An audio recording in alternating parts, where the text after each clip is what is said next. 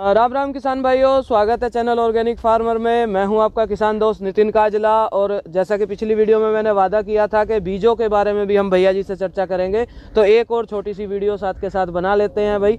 भैया जी अक्सर ये बात देखी गई है या प्रमोट भी की गई है कि भाई प्राकृतिक खेती या जैविक खेती में जो देसी बीज हैं, वो अच्छा प्रभाव देते हैं, उन्नत बीज अच्छा प्रभाव देते हैं। अक्सर हाइब्रिड बीजों को थोड़ी तंग नज़र से देखा जाता है कि भाई इनकी पोषण मांग बहुत ज़्यादा होती है और इनके रिज़ल्ट उतने अच्छे नहीं निकल पाते। लेकिन जैसे हम चर्चा कर रहे थे, आपने अपने अनुभव से बताया कि भाई ऐसा आपको नहीं लगा और आपने जो रिसर्च करके दिखाया, उसके बारे में थोड़ा सा बताएँ कि प्राकृतिक खेती से जुड़ा किसान क्या केवल देसी बीजों के साथ रहे, कुछ उन्नत का इस्तेमाल करे हाइब्रिड को ले या ना ले, या क्यों ले? जी।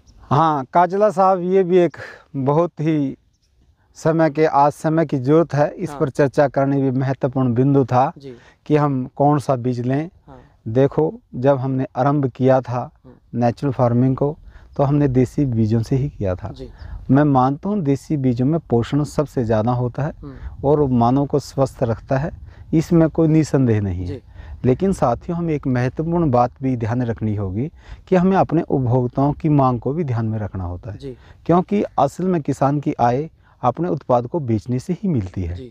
तो यदि कुछ देसी सीड आपको अच्छा परिणाम देते हैं हम्म।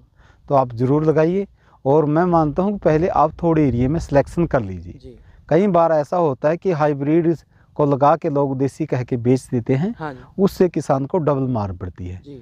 दूसरा बात कई देसी सीड्स हम्म। में जैसे हमारी लौकी का साइज़ है हाँ वो इतना लंबा हो जाता है कि उपभोक्ता उसको पसंद नहीं करते। लेकिन मेरी प्राथमिकता इसी बात पर रहती है हम्म। कि पहली सेटिस्फेक्शन कस्टमर की ही होती है। हम्म। क्योंकि जो पैदा हम करेंगे वो कस्टमर के लिए ही करते हैं। तो साथियों हमने इसमें हाइब्रिड भी किए हैं हाँ और मोस्टली हमारी ये मजबूरी भी थी। क्योंकि जिस क्षेत्र से मैं आता हूँ ये हरित क्रांति का क्षेत्र रहा हम्म। यहाँ देसी सीड नाम नाम की कोई चीज़ नहीं बची थी कुछ देसी सीड हमने दूसरे प्रांतों से लेकर यहाँ लगाए हम्म। जैसे बंसी गेहूँ हैं हम्म। ये हम महाराष्ट्र से सीड लेके आए और इसको हम एक सफल किसान बने बहुत गुणवत्ता और बहुत अच्छी क्वालिटी की हम देसी बीज की बंसी गेहूँ लेते हैं तो साथ ही जैसे हम चना हाँ। आपने देखा ही दिया हाँ।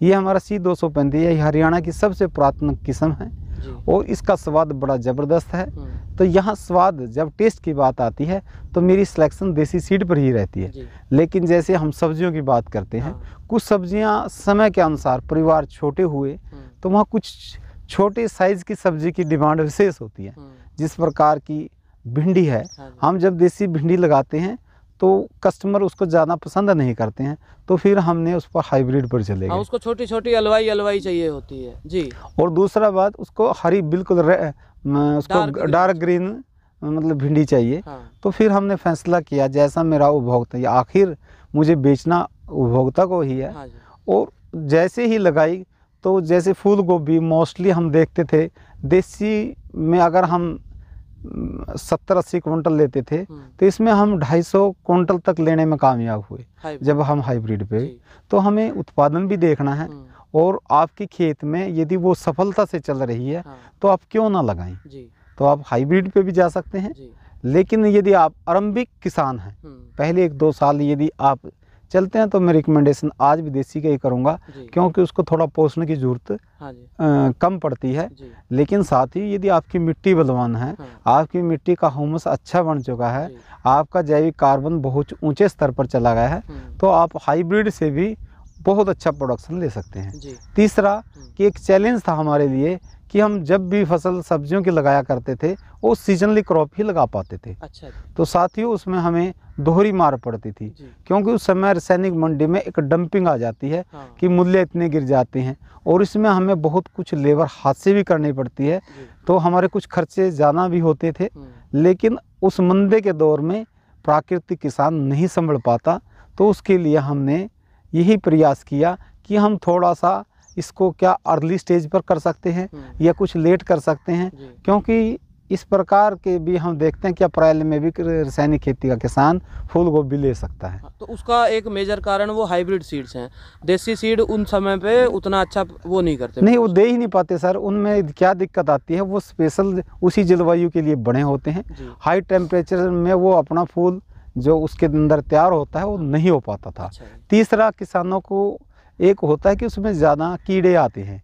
लेकिन जब आप नेचुरल फ़ार्मिंग में जाते हैं कीड़ों का आक्रमण उसमें नाम मात्र ही होता है क्योंकि इसमें हम आवश्यकता से ज़्यादा खुराक देते नहीं हाँ। और जब तक हम ज़्यादा नहीं देते तो कीट आपके खेत पर आएँगे भी नहीं और जो आ भी जाते हैं दाएँ बाएँ से तो आज इतनी आप में हम इसमें स्किल्ड हो चुके हैं हाँ। कि उन कीटों को कंट्रोल प्राकृतिक उसमें भी हम नेचर का बड़ा उपयोग कर सकते हैं। जैसे हम उसमें गेंदा लगा सकते हैं। हाँ उसमें मक्की लगा सकते हैं। यदि आप हम गैर मौसमी जाते हैं तो इस प्रकार के हम प्राकृतिक कीट प्रबंधन भी कर सकते हैं। तो साथियों जब आप ऐसी ऐसी बातें सीख कर करेंगे लेकिन यहाँ मैं विशेष यही कहूँगा कि बिना सीखे आप हाइब्रिड पर ना जाएँ। लेकिन सीखने के बाद आपकी मिट्टी जब बलवान हो जाती है आप हाईब्रिड कीजिए उन्नतशील बीज कीजिए आपका सब का उत्पादन अच्छा आएगा। और मैं तो अब ऐसे भी कर सकते देख रहे हैं आज आप खेत में हमने पहले हम रेस्ड बेड पे ही करते थे पंद्रह वर्ष हमने रेस्ड बेड पे ये काम किया। लेकिन मैंने अपने पंजाब के किसानों के लिए जहाँ कंबाइन हार्वेस्ट चलती है हम्म। उनको बेड पे फ़सल की क्रॉप कटिंग करनी होती है। हम्म। तो इस प्रकार का मेरा विचार आया क्योंकि हम उन लोगों के लिए भी काम करें कि जो आज के समय में उन पर लेबर की बहुत कमी आ चुकी है हाँ। अब बच्चे विदेश जा चुके हैं हम्म। बुज़ुर्ग खेती कर रहे हैं हम्म। क्या उनकी के लिए भी हम नेचुरल फ़ार्मिंग को संभावनाएँ देखते हैं। तो काजला साहब हमने उनकी संभावनाओं पर भी आपकी बार काम किया और आपको मैं जो भी उत्पादन आपकी बार आएगा वो कम आएगा ज़्यादा आएगा वो आपको मैं ज़रूर बताऊँगा जिससे उन किसानों को भी एक प्रेरणा मिले हम्म। जिनके यहाँ बुज़ुर्ग ही के काम करते हैं। हम्म। लेकिन उनके लिए भी मैंने मॉडल देना था। उसके लिए भी मैंने इस मॉडल पर काम किया और जो अब तक मैं देख रहा हूँ अब की बार इतनी वर्षा होते हुए भी हम एक अच्छी फ़सल की बम्फर उत्पादन हम गेहूँ से लेंगे हम्म। और उत्पादन लेना भी चाहिए क्योंकि आप कम उत्पादन लेते हैं। तो आप अपना ही नुकसान नहीं करते आप अपने राष्ट्र का भी नुकसान करते हैं। और जब तक आप अपने राष्ट्र के चिंतन के लिए काम नहीं करते तो मैं उसको किसान नहीं मानता हूँ क्योंकि राष्ट्र सर्वापरि है। राष्ट्र हैं तो हम होंगे। यदि हमारा राष्ट्र ही नहीं रहा तो हमारा अस्तित्व ही मिट जाता है। तो साथियों राष्ट्र है तो हम हैं इसी नोट के साथ में। आपने भैया जी को सुना और समझा कि शुरुआत में तो ज़रूर आप देसी बीजों के साथ जाएँ क्योंकि उनकी पोषण मांग कम होती है। शुरू शुरू में रासायनिक डलने की वजह से हमारी खेत की उतनी ताकत नहीं रहती है।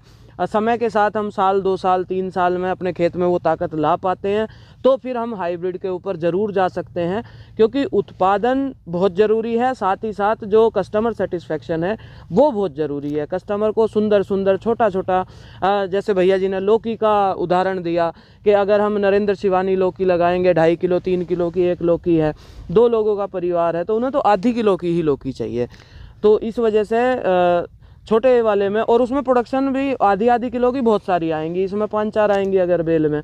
तो हाइब्रिड सीड्स के साथ हम जा सकते हैं और लेकिन फिर वही बात आती है कि सीख के समझ के जाना है। हाँ काजला साहब मैं थोड़ी सी और बात जोड़ देता हूँ जी।